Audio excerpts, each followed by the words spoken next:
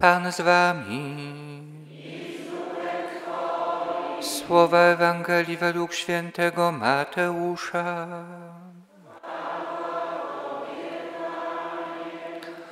Gdy Jezus przyszedł do świątyni i nauczał, przystąpili do niego arcykapłani i starsi ludu z zapytaniem: Kto ci dał tę władzę i jakim prawem to czynisz? Jezus im odpowiedział: I ja zadam wam jedno pytanie. Jeśli odpowiecie mi na nie, i ja wam odpowiem, jakim prawem to czynię. Skąd pochodził chrzest Janowy? Z nieba czy nie? Oni zastanawiali się między sobą. Jeśli odpowiemy z nieba, to nam zarzuci, dlaczego więc nie uwierzyliście mu? A jeśli powiemy od ludzi, boimy się tłumu, bo wszyscy uważają Jana za proroka. Odpowiedzieli więc Jezusowi: Nie wiemy. I Jezus im odparł: Więc ja wam nie powiem, jakim prawem to czynię. Oto słowo Pańskie.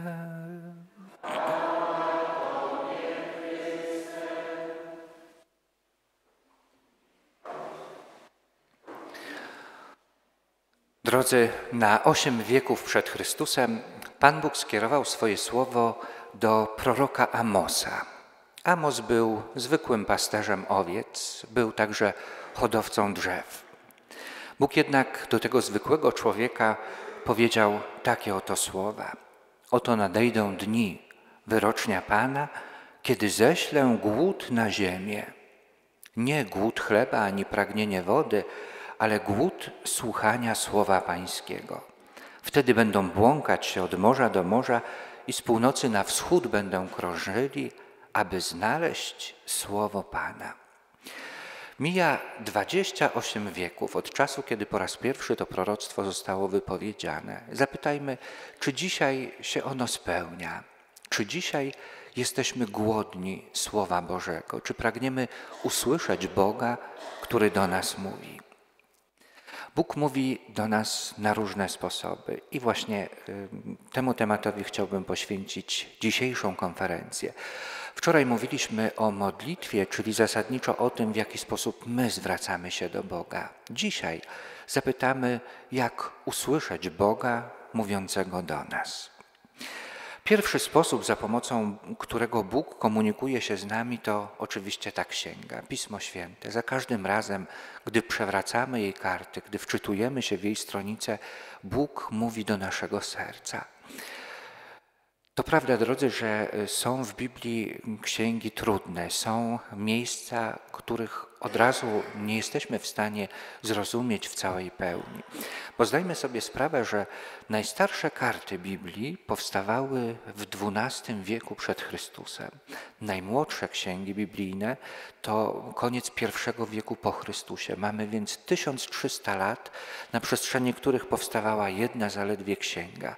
Co więcej, powstawała nie tylko w językach, ale w mentalności i kulturze bardzo różnej od naszej zachodniej cywilizacji.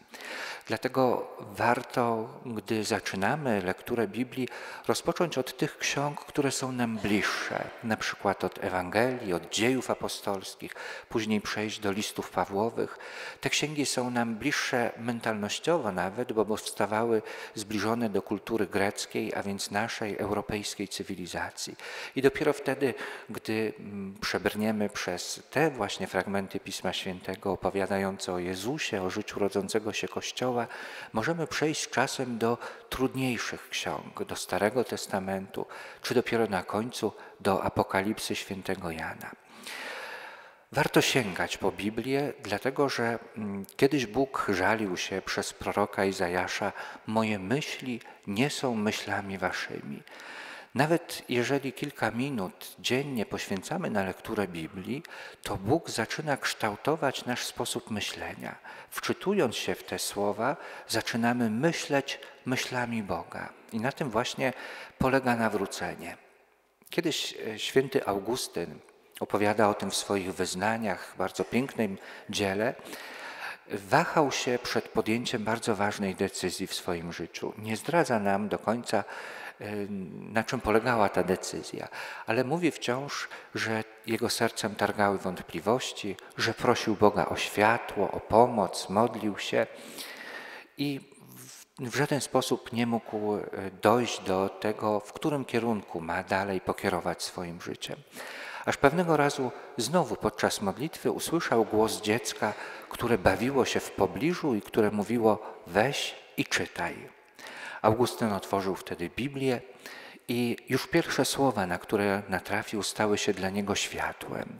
Spełniło się w jego życiu to, o czym mówi psalmista: Twoje słowo, Panie, jest pochodnią dla stóp moich i światłem na moich drogach.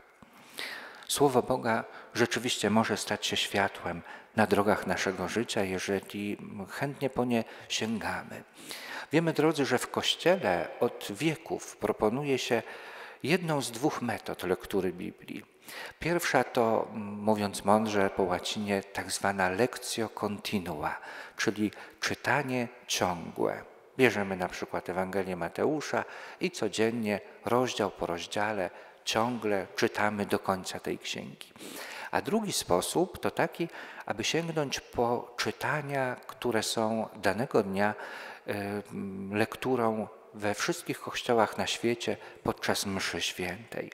Wtedy żyjemy życiem liturgicznym Kościoła, gdy rozważamy te fragmenty, które w czasie każdej Eucharystii na całym świecie w tym samym dniu y, są odczytywane.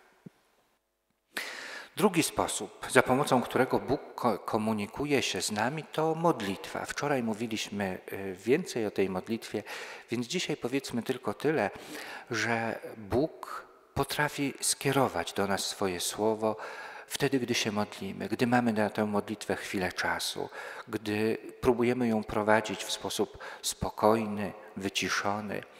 Wtedy różne myśli czy natchnienia, które przychodzą nam do głowy, czy rodzą się w sercu, mogą pochodzić od samego Boga. Bóg rzeczywiście w ten sposób może komunikować się y, z nami. Przychodzi mi temat teraz na myśl postać André Frossarda, mm, Francuza, który był człowiekiem niewierzącym, urodził się y, w rodzinie żydowskiej. Jego ojciec był szefem komunistycznej partii Francji. W ogóle więc e, Frossard nie miał kontaktu z Kościołem. Pewnego razu umówił się na spotkanie ze swoim przyjacielem. Było to w środku lata. Z nieba lał się żar, było bardzo gorąco i gdy jego przyjaciel się opóźniał, Frossard postanowił wejść na chwilę do pobliskiego kościoła, który miał potężne, grube mury. Pomyślał, tam na pewno będzie troszkę chłodniej. Gdy wszedł, trwała właśnie adoracja Najświętszego Sakramentu. Pierwszy raz widział y, taką modlitwę, nie wiedział co to takiego, ale sam również uklęknął w ławce, bo widział kilka osób, które się modliły. I wtedy zupełnie nieoczekiwanie, jakby jakieś światło spłynęło do jego serca. Wtedy po raz pierwszy ten trzydziestokilkuletni człowiek zaczął się modlić. Wyszedł y, z kościoła zaledwie kilka minut później, ale wyszedł jako osoba całkowicie przemieniona, jako osoba wierząca. To właśnie on później został jednym z najbardziej znanych dziennikarzy katolickich, francuskich. To on jest też autorem y, słynnego wywiadu rzeki z Janem Pawłem II. Bóg przemówił do jego serca na modlitwie. Bóg może i do nas mówić podczas modlitwy. A przede wszystkim zachęcałbym, drodzy, aby y, różne ważne decyzje w naszym życiu, decyzje co do tego, co mamy uczynić ze swoim życiem, jak nim pokierować, podejmować na kolanach, podejmować właśnie na modlitwie. Ojcowie Kościoła mówili, że jeżeli wędrowiec chciałby napić się wody ze źródła, to musi przed nim uklęknąć. My także, jeżeli pragniemy zaczerpnąć tej wody życia, czyli Ducha Świętego, o którym mówi Jezus, to trzeba nam uklęknąć przed Jezusem i tam właśnie prosić o światło. Trzeci sposób, za pomocą którego możemy usłyszeć głos Boga, to inni ludzie. Bóg może do nas mówić przez drugiego człowieka. W czasach Starego Testamentu mówił na przykład przez proroków, jak wspomnianego przed chwilą proroka Amosa, Później mówił przez Jezusa, przez e, apostołów i do dzisiaj mówi do nas, ale nie tylko przez tych, którzy są w Kościele odpowiedzialni za głoszenie słowa. Kiedy Jezus odchodził z tego świata, Powiedział w dniu w do swoich uczniów, gdy Duch Święty stąpi na was, otrzymacie Jego moc i będziecie moimi świadkami. Każdy z nas może być takim narzędziem w ręku Boga. Bóg przez każdego z nas może kierować swoje słowo do drugiego człowieka.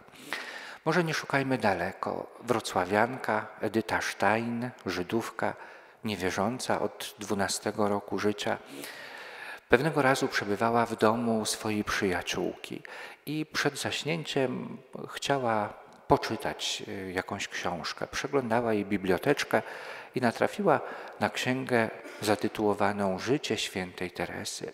Myślała, że przeczyta tylko kilka stron, ale ostatnią kartę tej książki zamknęła następnego poranka. Jeszcze tego samego dnia poszła do księgarni, kupiła katechizm i kilka dni później poprosiła o chrzest.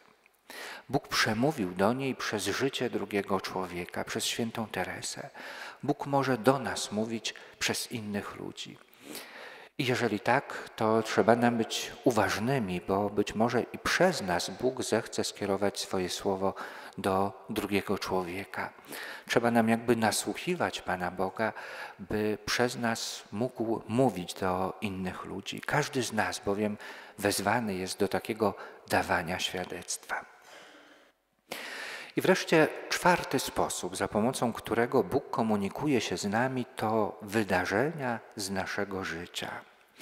Czasem bywa tak, że coś nazywamy przypadkiem albo zbiegiem okoliczności, ale jeżeli patrzymy e, na swoje życie oczyma wiary, oczyma człowieka, który jest blisko Jezusa, to być może zobaczymy w tym splocie różnych wydarzeń, które się nam przydarzają, jakąś wspólną nić, która je łączy.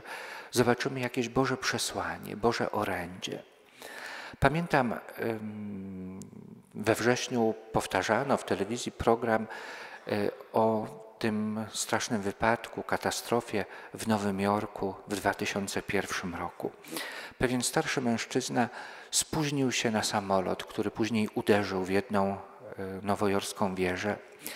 I pamiętam, jak do dziś ze łzami w oczach sześćdziesięciokilkuletni mężczyzna mówił: Od tamtej chwili wiem, że każdy kolejny dzień mojego życia jest jednym wielkim i niczym niezasłużonym darem Pana Boga dla mnie. Potrafił nawet w tak tragicznym wydarzeniu odczytać jakieś Boże orędzie, Boże przesłanie skierowane do Niego. Bóg mówi do nas przez to, co dzieje się w naszym życiu. Jeżeli tylko potrafimy y, mądrze to obserwować i wyciągać mądre wnioski.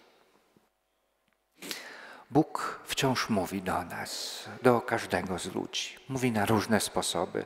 Mówi słowami Biblii, a także na naszej modlitwie.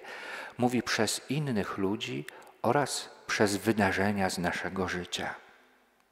Oto nadejdą dni wyrocznia Pana, kiedy ześlę głód na ziemię. Nie głód chleba ani pragnienie wody, lecz głód słuchania słowa Pańskiego. Zapytajmy samych siebie w swoim sercu, czy rzeczywiście jestem głodny, aby usłyszeć słowo Boga skierowane do mnie.